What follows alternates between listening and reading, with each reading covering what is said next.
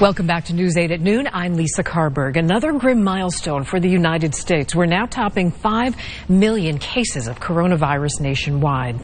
Joining us to talk now about COVID-19 symptoms and the spreading of the virus is Dr. Henry Anyimadu, infectious diseases specialist with the Hospital of Central Connecticut. Doctor, thanks for joining us. Thank you for having me. So, do we have any insight as to why some people that carry the virus have symptoms and others do not? You know, it's not entirely clear why some people who have the virus carry will exhibit symptoms and others wouldn't.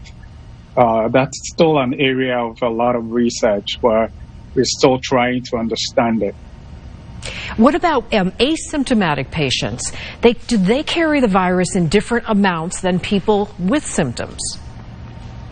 Again, that's still speculative, but the is concerned that depending on the dose of the virus that you get, some people may have a lot of symptoms because they get a lot of virus at a time, and others may not get uh, the symptoms because they just got a little virus. Uh, it, it's not entirely clear, and I would say that we, it's still an area of, uh, of research. We're so much learned every week, I know.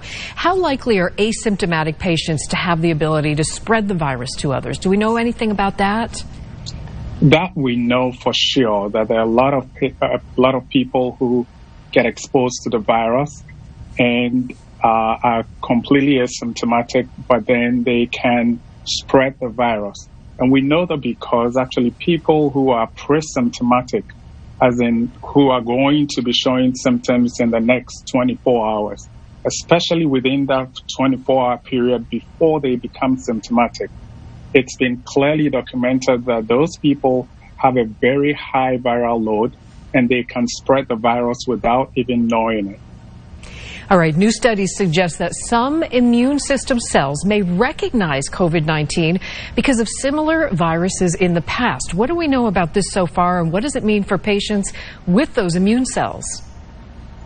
That is true. So uh, the study looked at uh, whether people who have been exposed to the virus uh, had symptoms or had some form of immunity. You know, when you get exposed to the, uh, any virus at all, your immune system reacts in two different ways. One is a T cell response, which is the cellular immunity, and the other is the B cell response and antibodies.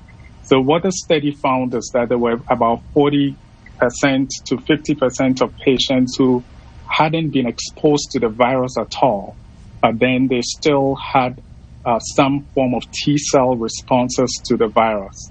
It's, it's, it's interesting, and some of their speculations include the fact that uh, they may have been exposed to some of the four coronaviruses that causes common colds.